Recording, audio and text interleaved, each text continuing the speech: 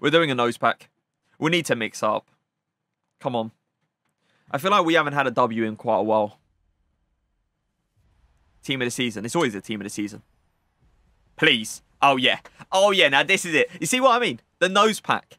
It, it comes out, and all of a sudden, Vinny is popping up. W. Doesn't matter what else is in the pack, but I wouldn't mind a shapeshifter Messi.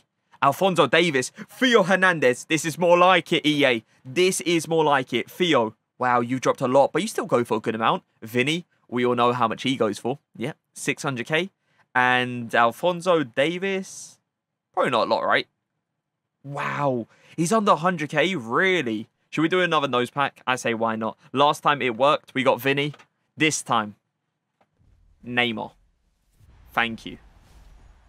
Portuguese. Left wing. Leão. That's good. It doesn't go for a lot, but that is very good. He is extremely usable. Anything else? Oh, Cordoba as well, right at the end.